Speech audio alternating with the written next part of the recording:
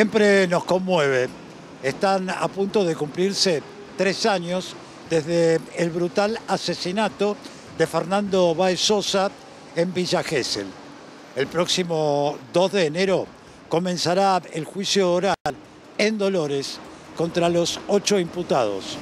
Queremos que la condena sea justa, que le den lo que se merecen. Para nosotros lo único que pedimos que sea una justicia ejemplar, que sea perpetua, que esto no, no vuelva a suceder, que no haya otro Fernando.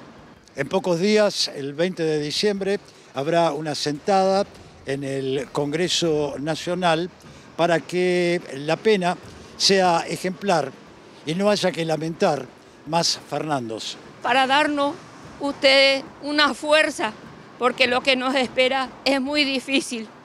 Y sentimos que con la ayuda de todos ustedes, sentimos que estamos apoyados y eso nos da esa fuerza para seguir adelante y para no decaer, porque nuestra lucha recién empieza. ¿Tiene fe en la justicia? Quiero creer que se va a hacer justicia. ¿Cómo se sobrelleva ese dolor? Estamos prácticamente muertos en vida, esto ya no es vida. Eh, es muy difícil, se le extraña el día a día, el levantarte, el sentarnos en la mesa para almorzar y que tu hijo no esté es muy desgarrador.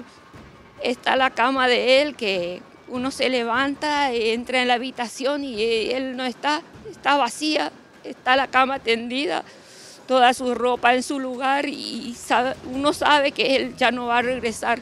Es muy difícil.